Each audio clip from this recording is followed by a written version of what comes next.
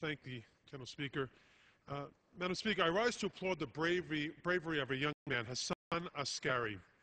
On December 9th of this year, Hassan Askari risked his own safety and his life to defend a group of strangers who were attacked on a New York City subway. What started as an exchange of Merry Christmas and Happy Hanukkah between fellow passengers ignited into a violent exchange of anti Semitic slurs and violence. A group of men and women attacked the Jewish passengers, and only one passenger came to their defense Hassan Askari. Hassan, like the man he was trying to help, was beaten and pummeled by the attackers.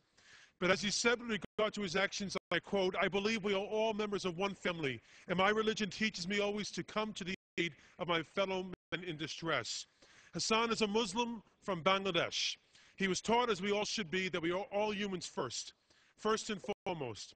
And no matter what our faith or race, we should treat each other with respect. Hassan's actions on the subway were human, uh, human nature at its best, and I applaud him for interceding to stop a senseless act of violence and hate.